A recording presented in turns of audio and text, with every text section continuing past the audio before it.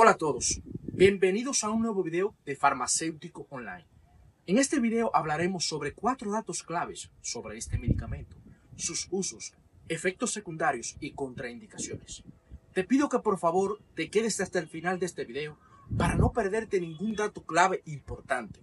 Tervac IM es un antibiótico de amplio espectro compuesto por ceftriaxona, indicado para tratar infecciones bacterianas de intensidad media a grave. Pertenece a la familia de las cefalosporinas, derivadas de las penicilina, lo que le permite actuar contra diversos tipos de bacterias, tanto gram positivas como gram negativas. ¿Para qué se usa? Este antibiótico es utilizado para combatir infecciones en diversas partes del cuerpo, incluyendo infecciones veréneas y de cirugía, infecciones abdominales y meningitis, infecciones en huesos y articulaciones, infecciones en piel y tejido blandos, infecciones renales y vías urinarias, infecciones en pacientes con sistema inmune comprometido, infecciones ginecológicas y otorrinolaringólidas, infecciones gastrointestinales y de vías biliares. Mecanismo de acción. La ceftriaxona trabaja eliminando las bacterias responsables de las infecciones. Después de ser inyectada, su efecto suele observarse en uno a dos días, aunque en ciertos casos puede tomar hasta tres o cuatro días para que los síntomas mejoren. Su eficacia la hace útil en infecciones complejas y en algunos casos específicos de cirugía para prevenir infecciones. Complementar tu tratamiento con un buen suplemento vitamínico puede potenciar los resultados de tu medicamento ayudando a fortalecer tu sistema inmune y mejorar tu bienestar general. Encuentra en Amazon las mejores opciones que seleccioné para ti. Haz clic en los enlaces que te he dejado en la descripción de este video.